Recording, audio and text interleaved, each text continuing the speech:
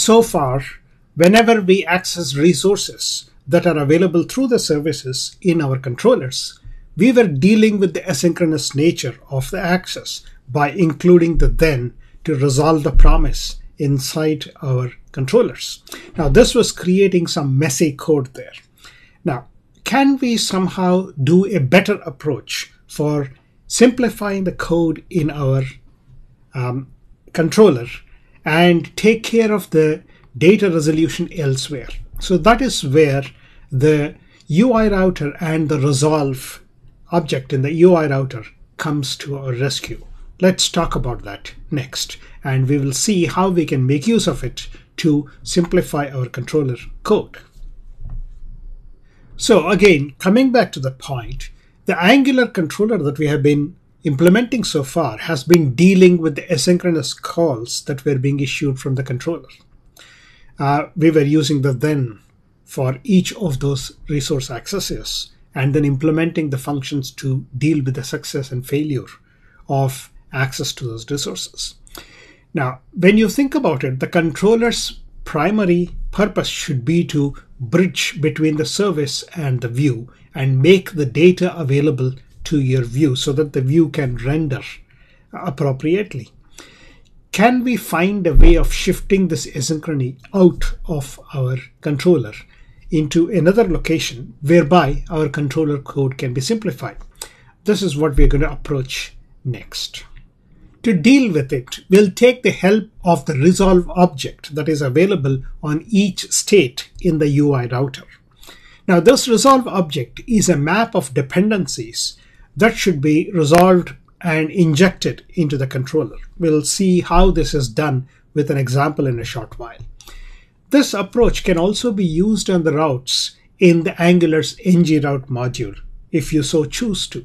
But in this case, I am illustrating using the Ang Angular UI router on how to make use of the resolve.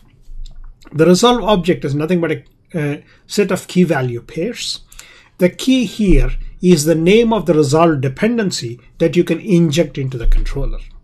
The value itself will be typically defined as a function that returns the value of the dependency that you are defining there.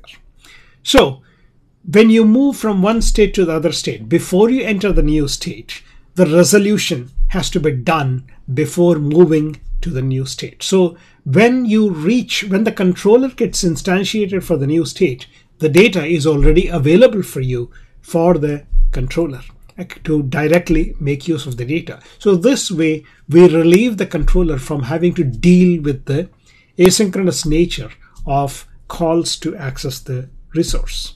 Let's look at one example of how you can make use of the Angular UI Router's resolve object to simplify our controller code.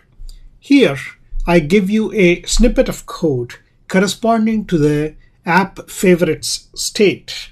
In the app favorite state, along with the URLs and the views, for each view, we can also associate a resolve object with it. And as you can see from the um, code there, the resolve object consists of key value pairs. Here we have two keys, the dishes and the favorites. The dishes itself gets resolved by calling the menu factory's query method. So which means that the dishes will be resolved to the dishes value that is obtained by querying the menu factory. And similarly, the favorites is also resolved by calling the get favorites method of the favorite factory. So that way, when the resolution is complete, the dishes here, the key, will be pointing to the object that is the JavaScript array consisting of all the uh, dishes. Similarly, the favorites points to the JavaScript array containing all the favorites.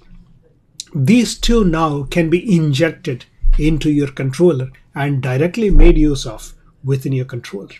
Now, when we look at the controller code by using this, uh, using the resolve, you will notice that the controller code is a lot more simpler. So let's look at how our controller gets simplified. Taking a look at our controller, Now in the controller, we are going to inject both the dishes and the favorites directly into the controller. And wherever you need the favorites, you will simply say scope favorites equal to favorites. And similarly, scope dishes equal to dishes. We no longer need to implement the then part and so on, where we were um, trying to resolve the asynchronous nature of access to the resources previously.